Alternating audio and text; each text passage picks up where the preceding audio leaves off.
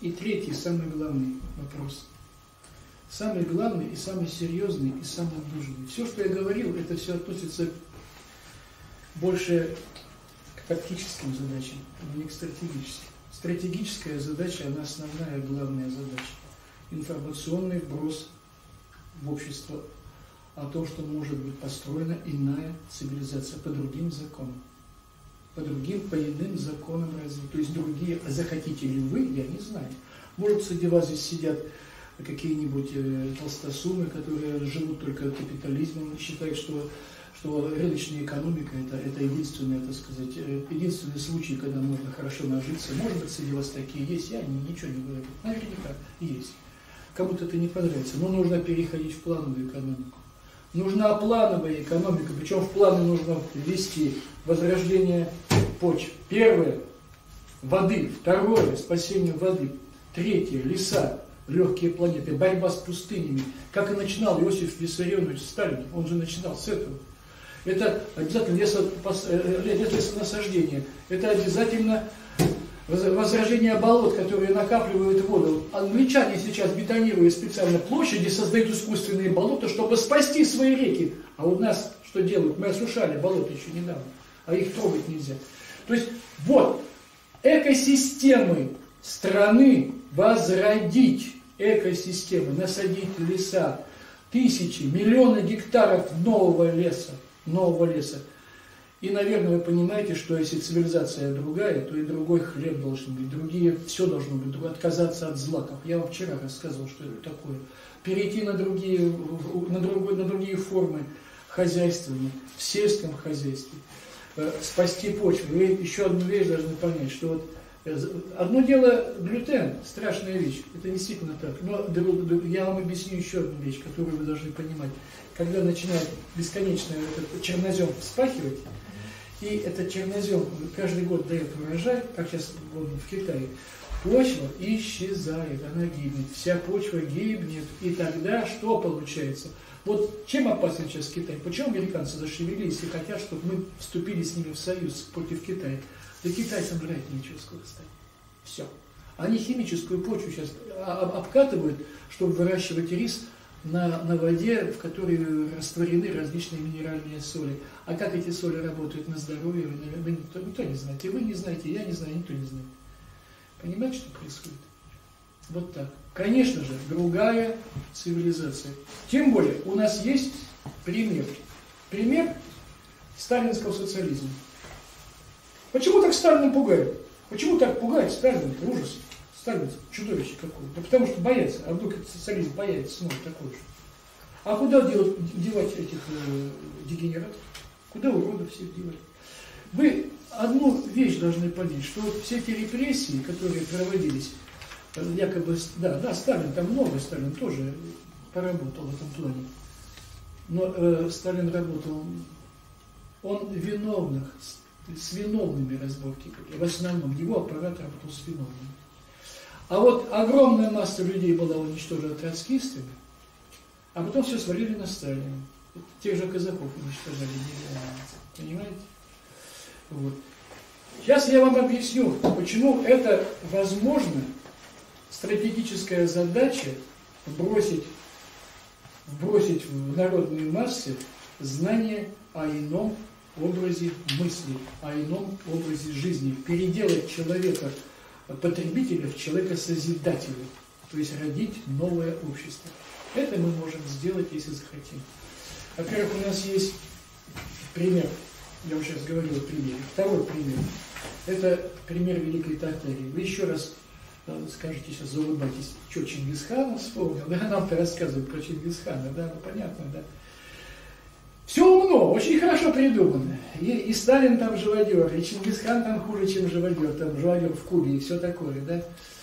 Но самое интересное, что если при Сталине деньги какие-то были, то в империи э, Чингисхана денег не было вообще. И не было богатых. Все имели только необходимое, достаточно, все были счастливы. Главное богатство – духовное. Это каждый был философ, каждый был поэт, каждый был музыкант, каждый был великий твор, твор, великой творческой личностью и был великий в воле. Потому и маленькая армия вот это, этих сибирских Руси смогла сокрушить весь мир. И мусульманский мир, и христианский. Потому что это были люди другого плана. Они не хотели жить по-другому, они только так жили. Почему была уничтожена Тартария? Как она была уничтожена, что это все в моих книгах прочтете, как уничтожены были книги, храмы, как все, как все было о них забыто, и кто за этим стоит. Все это несложно. Вы только должны знать одно. Сейчас, в настоящее время, надо использовать опыт Советского Союза.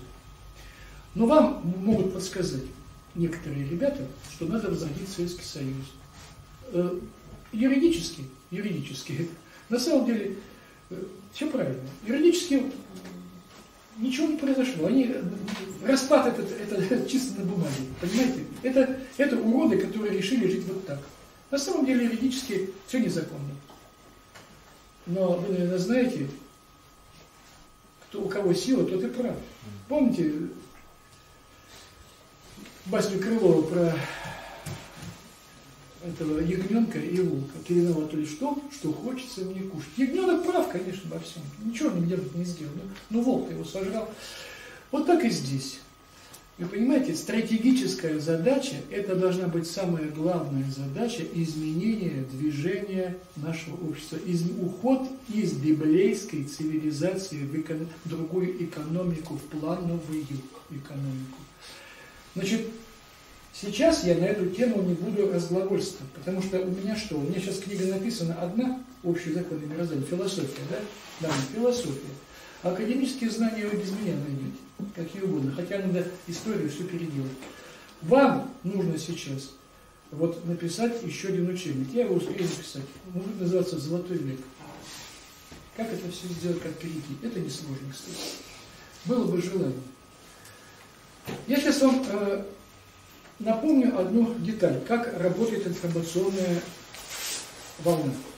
Кто-нибудь из вас был на той лекции давным-давно, лет 10, наверное, назад, когда я в каком-то зале, помню, сказал, знаете, что надо взять портрет Сталина, портреты убитых на войне, с этим портретом Сталина, собрать всю команду, которая погибла на войне, и прийти в лагерный сад. Кто-нибудь из вас здесь в зале помнит этот случай? Был тогда сам, со мной? Нет. Никого. Вы можете найти это в интернете. Я просто что? Я бросил информационную что, бомбу, повернулся и ушел. Все. Через два или три года в Томске началось движение «Бессмертный труд». И теперь в этом движении президента я наблюдаю, улыбаюсь, понимаю, почему он идет, потому что я этого захотел в свое время. Я вам для чего говорю? Не потому, что это во мне какое-то эго. Я для, для, того это говорю. Можете проверить мне, что информационный вброс – это мощнейшее оружие против всего. Меняется сознание, меняется все. Мы должны сначала поменять сознание у себя, я имею в виду ячейки, а потом поменять сознание у всех вокруг нас, у людей. Тогда мы сможем повернуть вектор цивилизации в другом направлении, создать плановую экономику, возродить Советский Союз в том плане, каком он должен быть. Не то, что они там делают, все опирается на закон и все пытается в рамках системы. Все, все по-другому надо делать. Все по-другому, понимаете, все иначе. Вот. Я еще раз вам напомню одну деталь, которую вчера говорил. Еще раз вам напомню. Чтобы вы понимали, что произойдет. Слушайте меня внимательно. Вот смотрите, э, перед войной Иосиф Виссарионович готовит страну как может. За 10 лет мы сделали то, что они сделали за 100 лет. Мы создали экономику другую.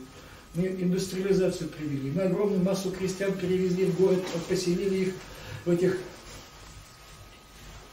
коммуналках, квартирах коммунальных, заставили их работать на заводах. Он сделал невозможное. Мало этого, э, линии коммуникаций электрические, железнодорожные, привели туда, куда должны переехать потом заводы. Сталин понимал с Берии, что отступать придется, и заводы надо будет перебрасывать на другие места. Фундаменты были залиты для новых станков, э, которые придут сюда поставиться. Понимаете, это все было на Урале, в Сибири. Вот как это было. Все это тихой сапой делалось, не пугая население.